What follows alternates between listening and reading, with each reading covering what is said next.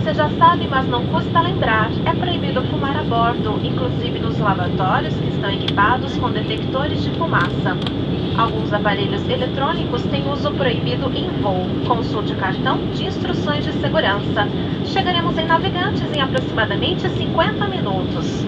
Dentro de instantes, iniciaremos o nosso serviço de bordo. Temos batata chips e cookies de leite.